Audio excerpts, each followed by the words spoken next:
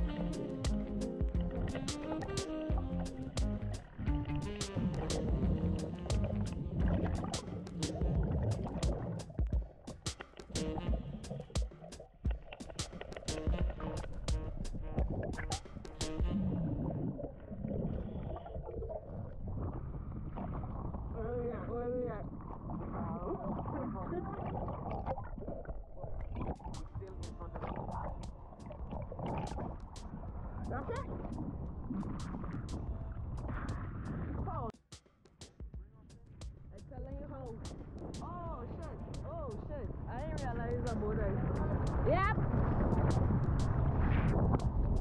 Unless you want to bring us in, that would be great. But he's he's um sailing kind of close circle. Oh. All right, you're catching up to the stairs now. Let's go. Almost there.